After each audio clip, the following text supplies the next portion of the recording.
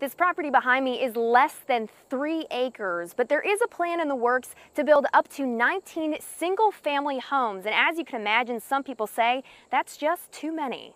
It'll be a mess, it really will. Roger Smith and his wife have lived on Lyle Avenue in Leeds for 40 years. We don't really want to move, but we don't like the idea of, of 19 houses looking at them every day when we come out the door. Out the door and into the front lawn of a proposed housing development. City officials say the plan calls for up to 19 homes off Lane Drive and Lyle Avenue. The developers put in a rezoning request with the Planning Commission. If, you know, we can make it like a four or five home lot, I mean, that's more reasonable to what I would think would be more reasonable. Hannah Kirkpatrick lives across the street and says more homes will create more traffic problems. The entrance that they're going to put into this is going to be right in front of my house when the roads, you can't even get two cars down the road. Residents hoping to keep life on Lyle Avenue like it's been for decades, peaceful and quiet.